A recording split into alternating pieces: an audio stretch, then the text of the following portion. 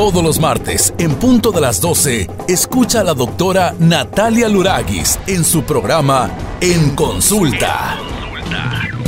Un show que trata de consejos médicos, salud y belleza, y donde la doctora Luragis contesta todas tus preguntas. ¡Comenzamos!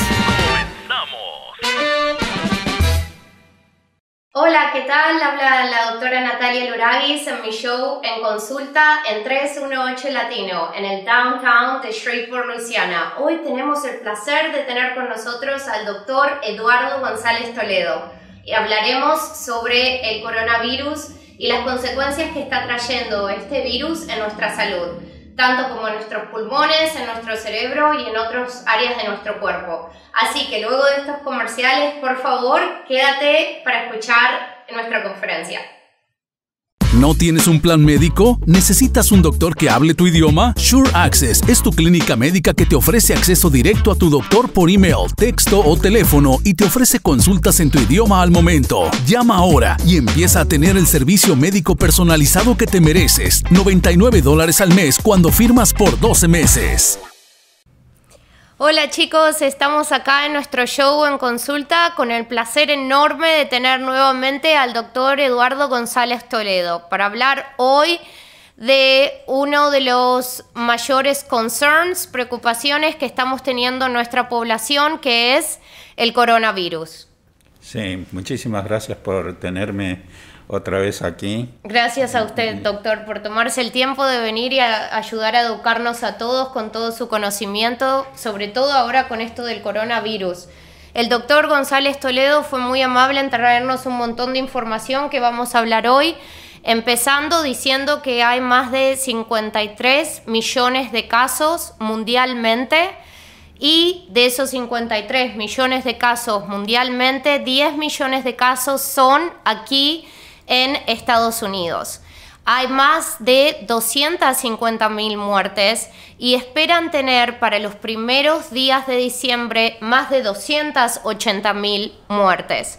Nosotros como médicos creo que nos preguntamos por qué está pasando esto y por qué hay una negación de aceptar esta enfermedad y poder educar a nuestros pacientes de qué hacer para poder prevenirla. Así es.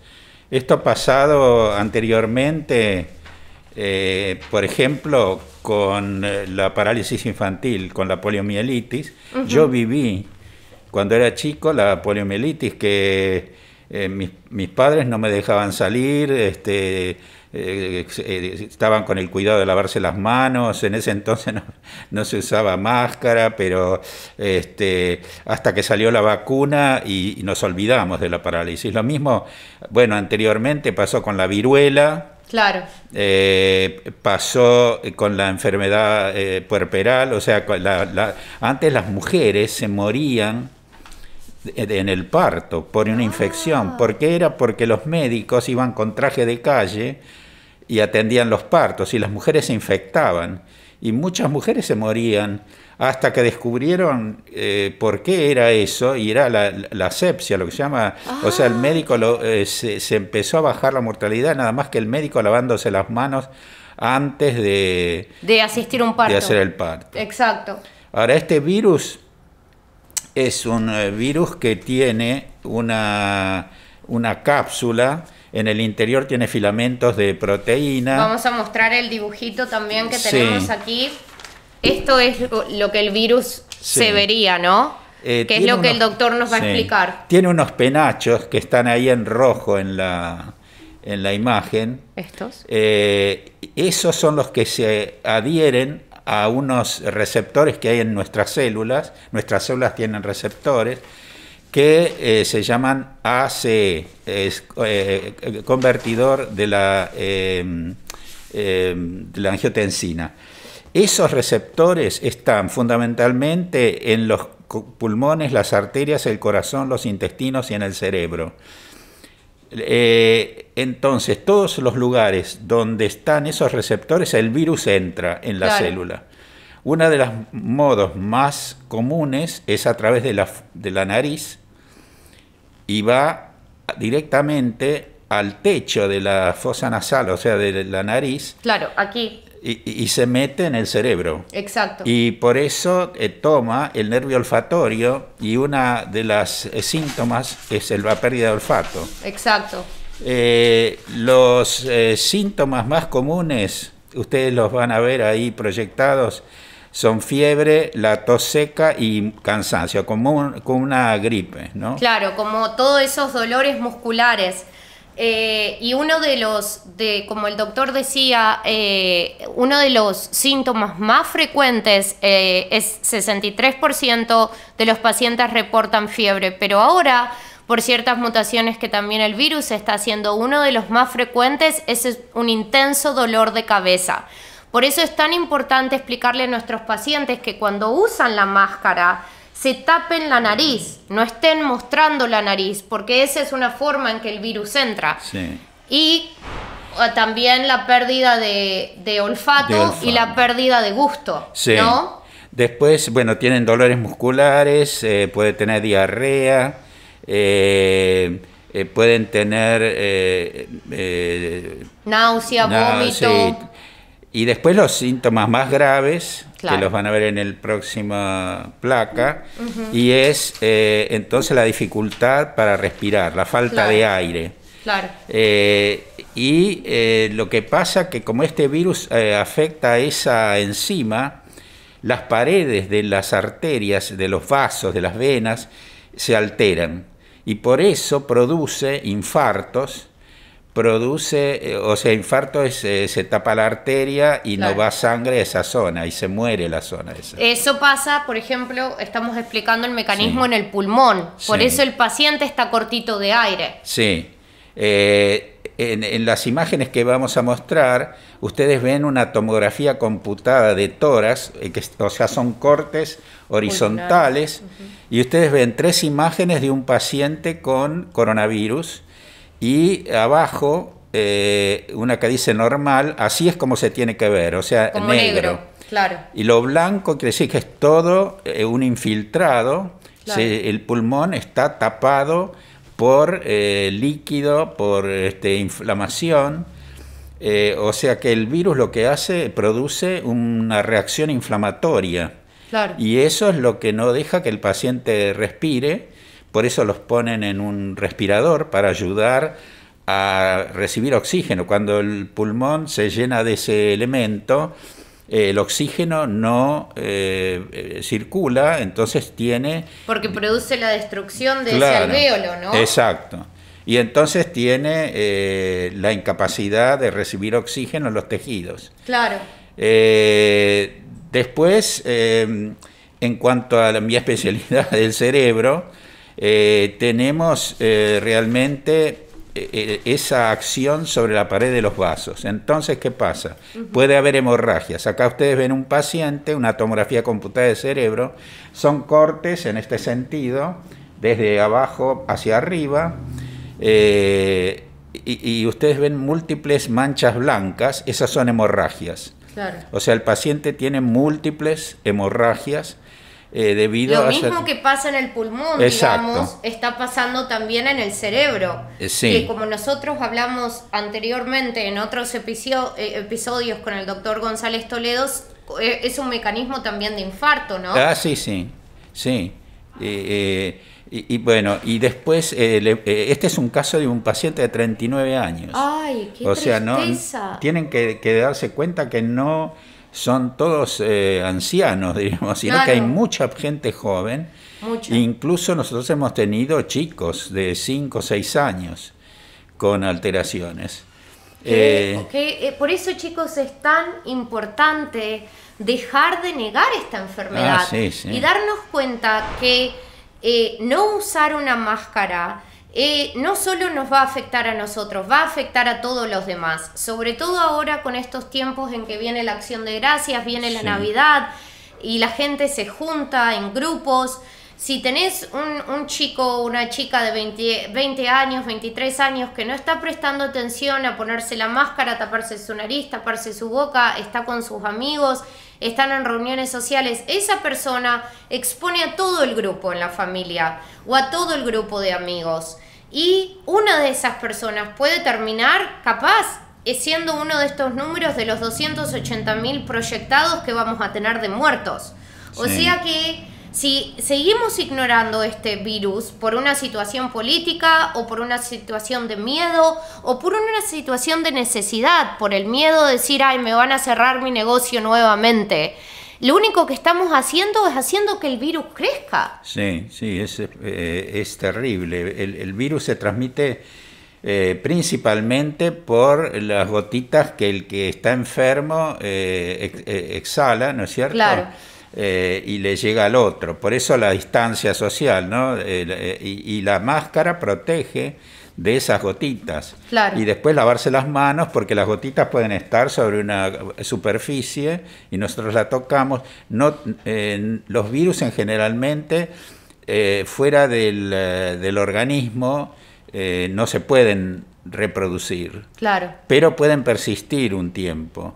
El, el virus, la acción del virus es, el virus entra en la célula y transforma el eh, ADN de la célula nuestra que empieza a producir virus. Ese es el mecanismo de los virus. O sea, el virus convierte nuestras propias células en productores de virus. Lo que en contra nuestra, ¿no? Claro, hay que parar esa producción de virus. Y en eso se basan eh, los tratamientos, ¿no? Y después la vacuna. La vacuna nos, nos eh, ayuda a generar anticuerpos, o sea que cuando el virus entra, ya hay anticuerpos que lo aíslan y lo destruyen. Exacto.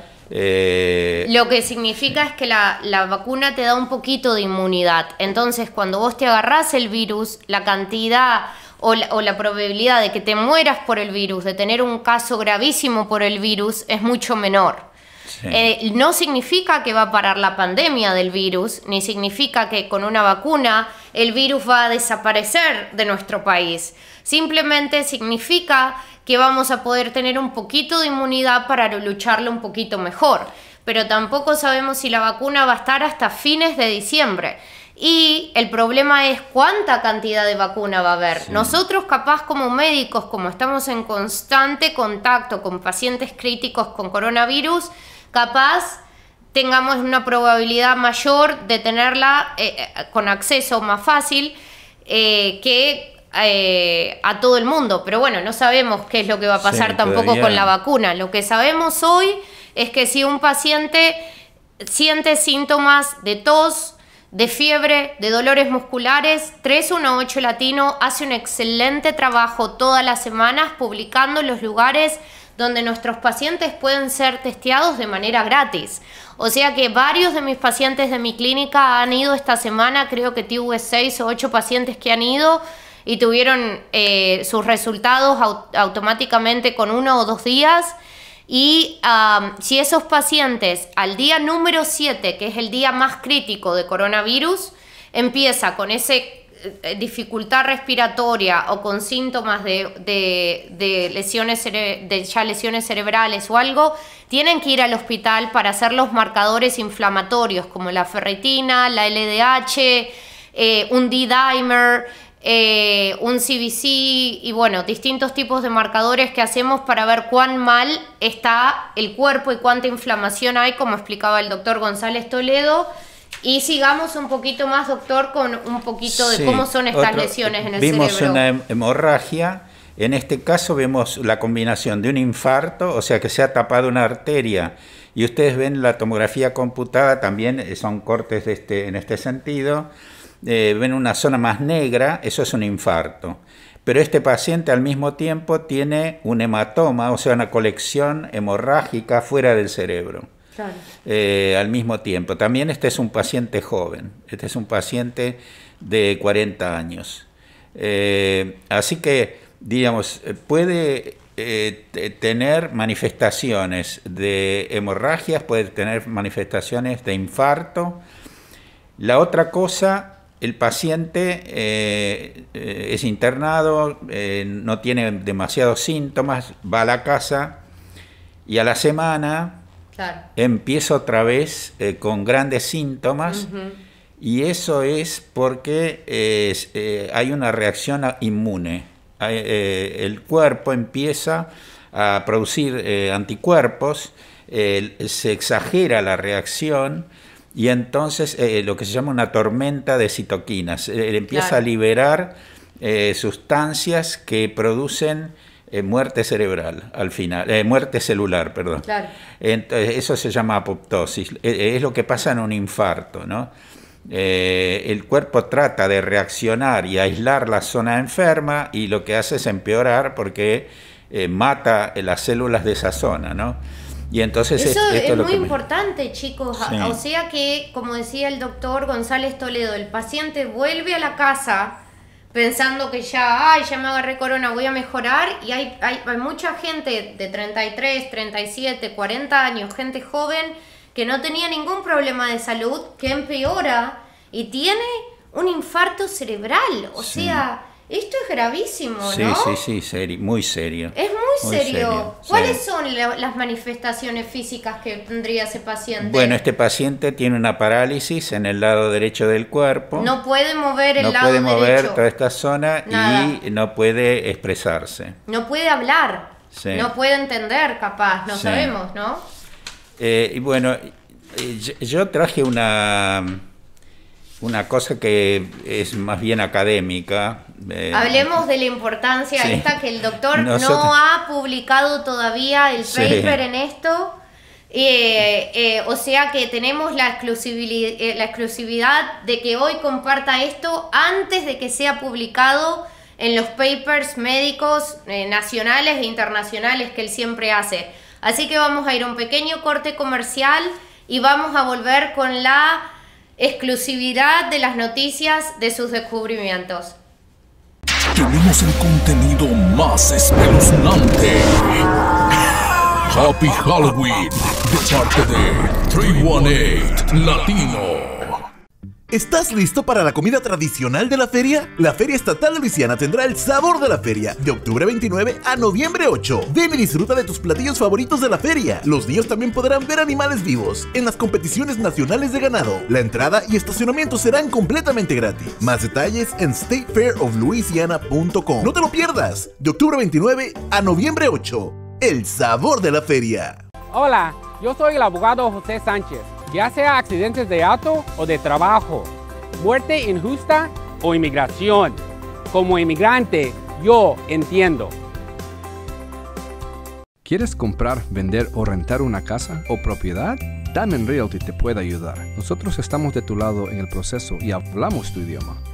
Soy José Rivera Sanz, agente de bienes raíces de Diamond Realty. Será un gusto ayudarte. Cuando estás en busca de un servicio para tu familia, uno quiere un trato amigable y servicio de calidad. El doctor Mario Pari está comprometido a proveer el mejor servicio de odontología disponible para toda su familia. Desde Shreveport, 318 Latino. Y acá estamos, hemos vuelto con el doctor Eduardo González Toledo que nos va a explicar cuál es la razón médica por la cual los pacientes con coronavirus Pierden el olfato. No pueden oler, significa. Eh, sí.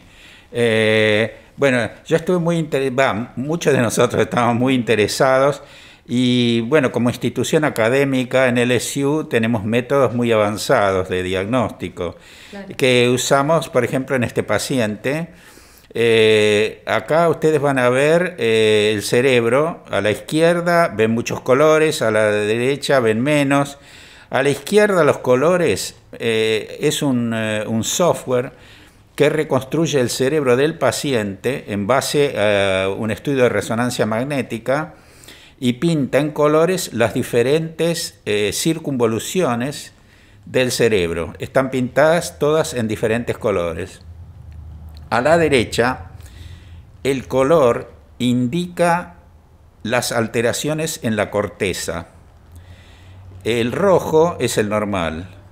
Ese azul y amarillo que ustedes ven, eh, sobre todo en la zona anterior, o sea, arriba de la imagen, eso corresponde a la superficie inferior del lóbulo frontal. Y ahí es donde están los nervios olfatorios. Esto indica que hay una alteración inflamatoria, en este caso, de toda esa zona y envuelve a los nervios olfatorios. Claro. Chicos, fíjense muy bien en la foto, ¿no? del área que está marcada con la flechita, roja. Así la pueden correr. Sí. Después, eh, esto es una, un corte en este sentido. Y hay una flecha donde corresponde al nervio olfatorio. Y se ve dos pelotitas blanquitas. Esos son los nervios olfatorios inflamados. Claro. Eh, tendría que ser eh, grises y acá se ven blancos porque están inflamados. Claro, que significa que hay muchas células que se están moviendo y produciendo una, una abnormalidad por la replicación viral que nos explicaba el doctor hace un minuto. Bueno, entonces nosotros medimos eh, lo que se llama la tensores de difusión, es un método muy avanzado que nos permite ver eh, las alteraciones, los nervios tienen una zona central eh, como un cable de electricidad, que es el cable que se llama axón. Claro. Y está rodeado por una eh, insulator, ¿no? por una aislación, que es la mielina. bueno, la, la, cosa es que una de las, eh, de las propiedades de difusión, que se llama difusión paralela, nos da la alteración en el axón, o sea, en, el centro. Y la, lo que se llama la difusividad perpendicular nos da la alteración en la mielina. Están alteradas las dos. Como ven en esos eh, gráficos, el del medio y el de la derecha, esos eh, tienen alteraciones, o sea, tiene alteración del axón y de la, eh, del, del recubrimiento. Claro. Y la próxima es lo que se llama eh, una resonancia funcional. Nosotros hacemos un método muy avanzado que se llama resonancia funcional en estado de reposo. Eh, se pone eh, lo que se llama, se mm, estimula una zona específica, en este caso, ahí lo ven en rojo, arriba a la izquierda, ese es el nervio olfatorio, la zona del nervio olfatorio. Y Después comparamos esa, zona con pacientes normales. Cuando la actividad está aumentada aparece en rojo, cuando la actividad está disminuida aparece en azul. En este caso vemos en azul, ahí están las flechitas, el nervio olfatorio, lo vemos en el de arriba a la derecha y abajo a la izquierda. Eh, arriba son cortes en este sentido y abajo son cortes en este sentido. Eh, y se ve que está alterado el nervio olfatorio, pero no solo el nervio olfatorio, sino que a la derecha abajo muestra lo que se llama el cíngulo posterior. Esa es una zona del cerebro eh, relacionada con el cerebro emocional, que es el que detecta las alteraciones sensoriales en el sistema emocional. O sea que tenemos eh, no solo una percepción alterada, sino que también tenemos una, un, eh, eh, compuesto un adicional que es la alteración emocional en la recepción de la sensación olfatoria. y eso es lo que pudimos este, ver en este paciente. Qué bárbaro, qué impresionante. O sea que esta es la explicación exclusiva, digamos, la explicación médica de lo que realmente pasa eh, fisiológicamente para explicar por qué perdemos nuestro sentido de olfato, digamos, ¿no? sí. Eh, en muchos casos se recupera, ¿no? Se recupera el tiempo, eh, la inflamación esa se va. Se disminuye. Y se, se recupera. Claro. así que, digamos, nuestra esperanza, bueno, como dijo la doctora, eh, es la vacuna, pero para que sea efectiva se calcula que tiene que estar vacunado 70% de la población. Exacto, y eso va a ser otro problema, porque como tenemos el problema ahora político de seguir ignorando el coronavirus, no solamente capaz por un tema político, como dijimos, la gente está con miedo de que le cierren su negocio, de no poder sobrevivir mm. económicamente o de cosas de esta manera, Nadie tiene que llegar a un extremo de decir, bueno, eh, vamos a cerrar el país, ¿no? Si todos estuviéramos usando la máscara y tendríamos que poner un poquito de alcohol en las manos y lavarnos las manos cuando podemos y cuidarnos como familia, como individuos, como padres y madres, ponerle límites a nuestros hijos en si pueden salir o no y en las situaciones en que se puede salir o no, nosotros tendríamos un control mucho mejor que supuestamente siendo Estados Unidos, que somos la meca de la meca, eh, ¿cómo puede ser que tengamos todos estos casos. O sea, hay 53 mil millones de casos mundialmente, pero 10% están en este país. no, 10%, eh, perdón, 10 millones. ¿No? No, es una, situación eh, que es eh, una cosa que va contra nuestros derechos. Claro. Sino que es una situación de, salud pública. Exacto. O sea, si hubieran dicho, no, yo, eh, la vacuna de la viruela, la, vacuna de la viruela fue obligatoria. Exacto. Antes se moría la gente eh, con epidemias de viruela, como ahora se está muriendo del coronavirus, se morían de, la epidemia de viruela hasta que salió la vacuna. Exacto. Si la gente hubiera dicho, no, yo soy libre de no ponerme la vacuna y ahora estaríamos con la viruela. Lo mismo cómo se paró la, poliomielitis. Yo tuve la suerte, cuando vivía en Argentina, en la Academia de Medicina, fue Sabín, que fue el que ah. eh, inventó la vacuna que se daba en un terrón de azúcar. Primero se daba inyectable, ah. la Salk, y después Sabín eh, la, perfeccionó para darla y se la daban a todos, eh, sobre todo los chicos, en un terrón de azúcar. Y yo conocí cuando él describió y describió el virus de, la poliomielitis y este, yo era estudiante de medicina, así que para mí fue una ver un premio Nobel, ¿no? Claro. Eh, y así se, se, terminó con la, con la polio. Hay casos ahora, hay casos, pero pero no es este así una el extremo que era anteriormente. Y yo creo que lo mismo tiene que pasar con el coronavirus. Si eh, nos protegemos hasta que llegue la vacuna y cuando, con la vacuna lo mismo vas a tener que tener cuidado en la época, ¿no? Eh, Porque dicen que para que realmente la pandemia pare, 40% del mundo debe de tener coronavirus para ah, que pare la pandemia, que es lo que se describe como la herd immunity o la inmunidad, ¿no? O sea que eh, aunque tengamos la vacuna, como dijimos, la gente no va capaz a morir de coronavirus porque no van a llegar esos casos tan extremos, pero todavía la enfermedad va a seguir, como sigue el flu, como siguen otras enfermedades. Y el flu, hay gente que se muere de flu. Hay muchísima gente que se eh, muere de flu. Sí, y no, y no se chicos y adultos. Y no e se ponen, la, vacuna, y no están protegidos. Y, sí. Y una de las cosas más importantes, chicos, ¿qué es lo que usted puede hacer hoy desde su casa? Primero, tome vitamina D, 5.000 eh, International Units, las tabletas que son 5.000, tomen una por día. Tomen vitamina C, 1.000, la tableta de 1.000. Tomen uh, zinc, si no tienen ninguna contraindicación médica. Tengan un termómetro en la casa, tengan Tylenol en la casa, porque si llegan a tener una temperatura, inmediatamente tómense un Tylenol y asegúrense de tener un médico primario al que le puedan mandar un mensajito y decirle, doctora, estoy sintiéndome de esta manera, por favor dígame qué hacer.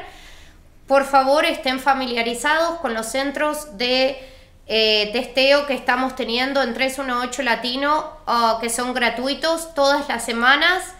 Y sigan por favor escuchando nuestro show en consulta que vamos a estar con el doctor Eduardo González Toledo y también vamos a tener de invitado eh, en el futuro el doctor Carlos Preiliano, que también nos va a contar eh, un poquito más de las lesiones en el pulmón eh, que está dando coronavirus. Así que eh, el martes que viene vamos a seguir con esto y vamos a seguir con esto durante todo el invierno para asegurarnos de que nuestra población, nuestra comunidad latina tiene la educación para prevenir y luchar esta enfermedad. Doctor, ¿quiere decir algo para cerrar el día de hoy? No, nada más que sepan que se tienen que cuidar y que no usar máscara no solo afecta a la persona que no la usa, sino a, todos sus seres queridos, a todos la gente que tienen alrededor y al público en general. O sea que es importante que la gente tome conciencia de que no, no somos inmunes. Eh, en el hospital vemos morir a la gente con falta de aire, ahogados. Es terrible. Eh, no, se puede negar. Y entonces todo lo que hagamos es poco para, para, para eh, librarnos de, del coronavirus. Así que muchas gracias de, de nuevo por, por invitarme. Gracias a usted, siempre, gracias a usted.